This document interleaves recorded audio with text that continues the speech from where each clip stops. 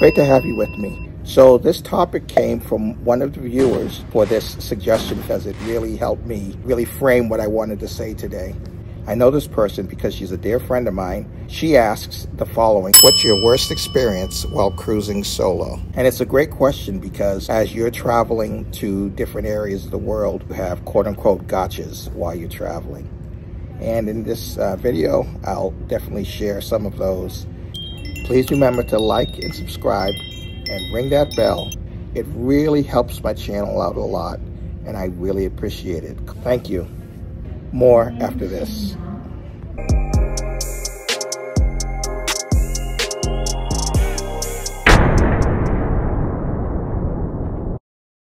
Let's first talk about an obvious one, and that is the planning mode. The only real foresight you need to have is to make sure that you have enough time to, but when you're going to a different region of the world, this isn't just for Asia, this is literally anywhere outside of where you live. We're talking very long distances. We're talking flights that are you know, 16 to 24 hours in the air to even get into region. You're crossing over multiple time zones.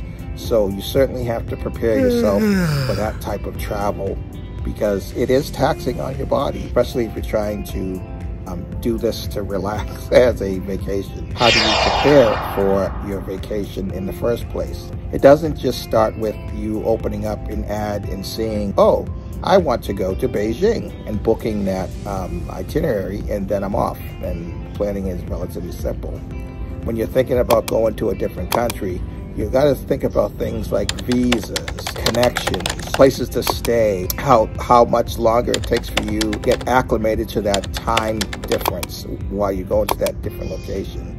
And these were things in the, in my past that have caused gotchas for me. Just the whole visa process. Unless you're an international lawyer, and I really credit those who are, and you understand the visa process, it's going to be worth your weight in salt to contract with either your travel professional, uh, AAA has some excellent people, and I'm sure there are others, or some other agency that will handle the visa portions of your travel. Granted, there are some countries that you can travel to without a visa, but it's better to just invoke the help of a professional up front. They've done this many, many times. They know what's required, and they'll help you through that situation very careful about your flights. Now, it's true that I used a travel professional to book my cruise and to get me my travel documents, but I thought it was going to be easy for me to book flights, and it was just a matter of looking at the flight tables, and, and that would be the end of it. That story goes, I found a series of flights that got me over to my cruise port, which is going to be Tianjin, China, and I was going to be um, sailing out of that point. I understood where I needed to go, I understood the hops to get there. What I didn't understand is there's really no easy way of knowing physical distances of airport locations.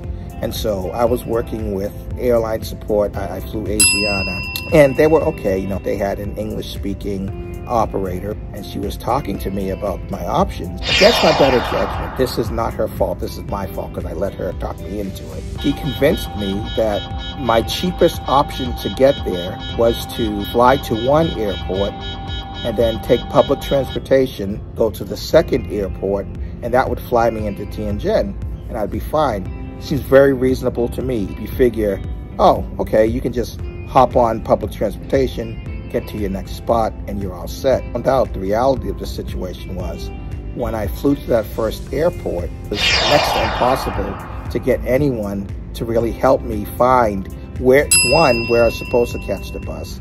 Two, I thought I was pretty savvy by building in a six hour window between me getting on a bus and getting to the other airport and checking in, what ended up really happening was I landed, no one would really help me. I was, you know, one, two hours into this ordeal. And I was like, I got to get to this other airport. My flight's going to be leaving in four hours. I, uh, I just don't know how long it's going to take for me to get from one airport to the next. Um, I go to purchase my ticket on the bus and I only had US dollars. They don't take US dollars. It's not easy to just change money. They do have ATM machines and just carrying old greenbacks isn't going to be a great travel advice for you. You really do want to make sure you have some local currency. So I would recommend you change about 50 to 100 US dollars into local currency so you have some spending cash and just walk around with that. It's okay to have dollars with you, but don't expect to be able to use them in most places because they won't, they, they won't take them. I was able to get my bus and what I didn't take into consideration is I've lived in some real high traffic areas. I lived in Boston, traffic is horrible. I live in Seattle now, and they're starting to get really bad. Still not as bad as Boston, but it's starting to get bad. I've been through New York traffic. I've been through San Francisco traffic. I've been through many traffic spots across the country. It pales in comparison to what I ran into in, in China. I get on this bus, and when I mentioned that my flight was at a certain time, when I tell you this was the slowest bus, the traffic in China is dense. And I'm sure people who traveled there understand what I'm talking about. The traffic was impossible. On top of that, this bus was making tons of local stops. I thought this was like a Greyhound where it's point to point, like the airport to the airport. There are like 10 or 15 stops. The eighth and ninth stop in, I looked at my watch and I had like an hour and a half left. Uh, long story short, the bus dropped us off at like this bus hub and it was nowhere near the airport.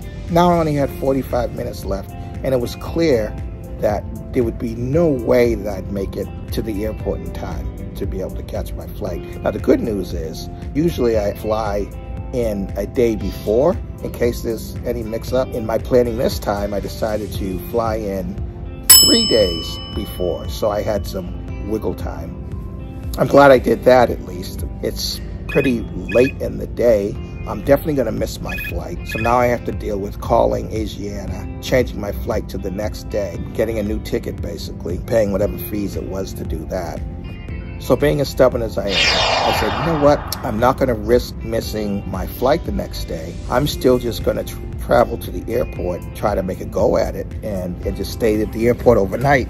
If it wasn't for this friendly couple who basically took me under their wing, and what they did was they said, listen, we're not going to the airport, but you know, we don't want you to get lost. I hope you realize you're pretty far away from the airport. We'll get you there. And so they traveled with me to the airport. They didn't ask for anything, didn't ask for any money. They just said, pay it forward. I get to the airport. I was able to talk to the Asiana person who obviously told me your flight left a long time ago. You know, you're stuck. And I worked with her to um, book me on the very next flight. At that point, um, I really had very little money. Last meal I had was on the flight eight or nine hours earlier. I prioritized getting water and I figured, you know, if I get some water, I'd be able to refill my container. Although I did question some microorganisms that are in the water that can affect you. And the last thing I needed was to have to, to catch a crazy bug. I had a little money, uh, I was sipping on my water, and then I just I came across some other uh, international travelers. In fact, it was a, a woman who she was a, um, uh, she went to China originally as uh, an exchange student and then uh, ended up working as a uh, model over there. And she was from Nigeria. And uh, we struck up a great conversation. Um, I also met a Tibetan traveler she was also there visiting and we were just kind of swapping stories. They, they all wanted to go to get something to eat. And then when we went to do that, they noticed that I didn't buy anything. And I basically said, listen, I don't have any cash to buy any food. You know, I'll be, I'll be okay in a couple days. In fact, I'm going on this great cruise. So I'm not too worried about not eventually having something to eat. And they said, you know, that's nonsense. And they, they all chipped in and we all was able to break some bread together. And I think, again, a wonderful idea, a wonderful concept, and I'll, be in for, forever in their debt for doing that. So that was another lesson learned um, about paying it forward as a traveler. Uh, you just may find yourself in a situation where you can help another traveler. It's going to be no big sweat off your back, but believe me, the person receiving the assistance uh, certainly appreciates it, and I certainly did. During that day, had some other observations which were kind of funny, and I think it's true today as it was when I was traveling. They don't see many foreigners, and I dare to say they don't see many foreigners of color. The fact that I was just um, an African-American dude in the country, I was a bit of an anomaly. So much so that Asian parents were pushing their kids and making them come up to me and they would tug on my pant leg and ask to take a picture with me. And I just, I, I, I was offended, but I was also gratified by having that experience because at least uh, it showed that there was a level of curiosity. I felt like a superstar for just a moment in my life. Got on my flight that next day, started to make my way towards my hotel. But as I landed, the problem I had was being able to procure transportation from the airport to my hotel. And the hotel was near the port of Tianjin. It wasn't really close, but it was like within five miles. What I found is the taxi drivers, like in many any many other places, like it's first come, first service, FIFO, first in, first out, when it comes to your customers, right? So you get there, you're standing in queue, you're waiting for a ride, you get picked up based off of where you are in line. It doesn't quite work that way in China. I had I had to have been rejected by six or seven drivers who literally looked me up and down and was like, "No, I'm not taking him." no problem. Waited and waited, and finally someone did. Um, uh, with the assistance again of a porter, came over and said, said in the looks. He asked me in very broken English, which I appreciate because his broken English was better than my, my even attempt at Mandarin. And the driver, you know, they were going back and forth, and it was like, I don't know if it was an argument. It just could have been some um, spirited conversation. And then finally, he said to me, he'll take. And I was like, oh, okay, he'll take. That sounds good. Um, oh, at this time, too, because I landed at the airport, I was able to pick up a few dollars from the um, uh, AT from the ATM, and I, you know, I peeled him off a, a, a few bucks, which I guess is always nice. He, he, seemed like he wasn't used to getting tips, but I gave him a little something. He seemed appreciative of it, and so I get into the vehicle, and the driver had no idea of where to go. He didn't even bother to check his maps beforehand. He just got me in the vehicle, and we just started to drive. And we were driving for about 30 minutes, and I was like, okay, I, I know from the map the port is over here, and I know that my hotel isn't exactly at the port, but it's pretty close, but we're going pretty far out. I said, are you sure we're in the, and he was like, I, I, I don't know. I was like, you've got to be kidding me. Drove off the highway, and then he gets on his cell phone, and he's talking to someone. And then finally I him say, ah, ah, ah, ah okay. And then uh, at that point, we got back on the highway, backtracked uh, for a few minutes, and then he pulled off again. Now at this time, I was pushing around 10, 30, 11 o'clock at night. My reservation, of course, was for the day before at 3 o'clock. So I didn't even know when I got to my hotel, even if I had a, if I even had a hotel. But again, that's a different story he knew the name of the place, and we kind of pulled into a couple of you know, a gas station, um, a 7-Eleven type store. Like people were telling him where to go, and we and we actually got in the area. So basically, from his road map or whatever he was using, it said uh, you have arrived in the area that we were in it was pretty rural. And we saw we saw no signs of like a hotel or anything like and he literally was gonna say well he said i take you back to airport. I was like no no no no no no no i said let's just try to find something. So we were creeping up this road didn't even look like it, it wasn't even paved. It was like a, a dirt road. The end of that road i said oh what's that? I saw some light. And, and we looked and there tucked in behind was the hotel. It was actually a pretty nice hotel. I was surprised about that. But it was like one of those like um, off the beaten path, you know, three or four star hotel. Got there, was able to check in. The person basically said, you know, you were supposed to be here yesterday. We thought you canceled. So you lost your room.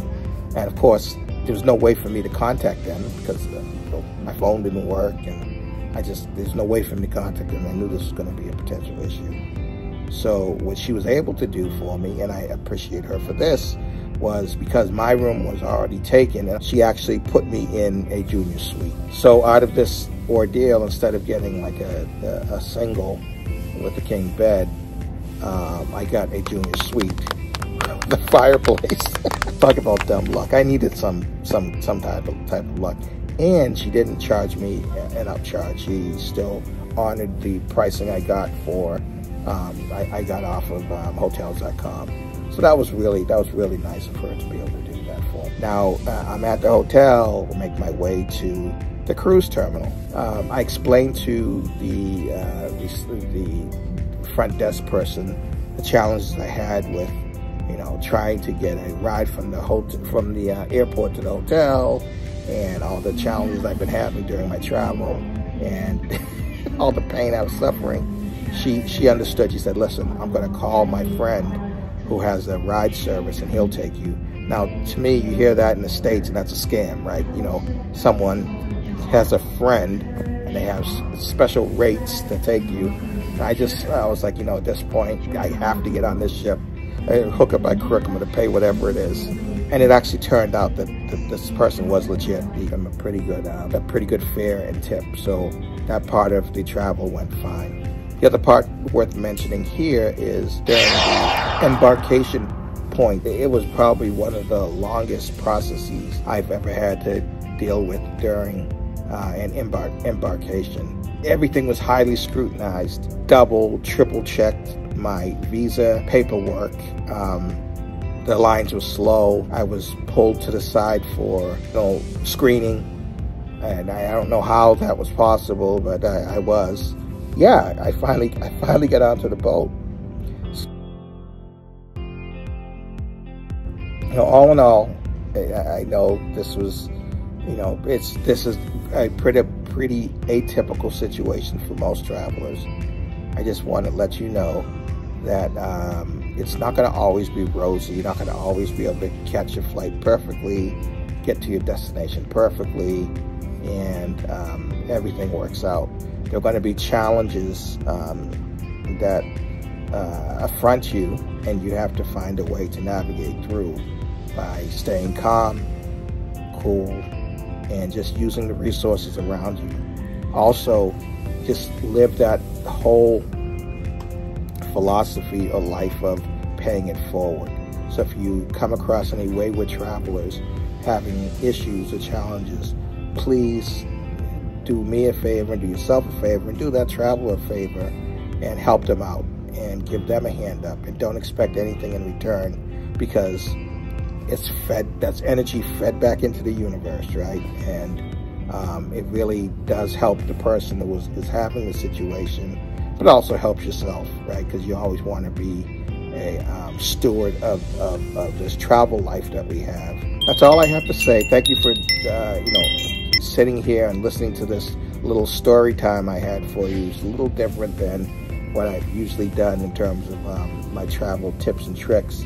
But just, I think, the narrative of what could potentially happen to you while going on a cruise, I think speaks for itself. I don't want you to be caught behind the eight ball like I was. And I consider, I consider myself a pretty savvy traveler. I, have been to a lot of places and I've been all over the world, but I wasn't really prepared for my Asia experience. I am now hardened to that and don't take things for granted. And as I say that, I'm sitting here at Seattle International Airport, SeaTac, um, because I missed my flight by five minutes. And I'm living that cruise life. so, in any event, I hope you enjoyed. Until next time. Got a very interesting one for you as I make my way to Boston. Real quick funny note. Um, I planned a trip to see my daughter's graduation I thought I had everything settled and, and planned out perfectly. And of course, I ran into traffic at the airport. Long story short, um, I missed my flight by five minutes. It was the last flight of the day. So guess what? I'm getting on the first flight tomorrow. So that's a great introduction to talk to you today about my travels when I had cruises and some of the gotchas in Asia. So I just wanted to share that with you. Hey, this is Eric from the Post Edit. Just wanted to make a couple corrections. Throughout the video, I kept calling the airline that I flew on Asiana Airways. That really was China Airways. Also, I made reference to Oasis of the Seas. It was actually Ovation of the Seas. I apologize. It happens. I'm getting old.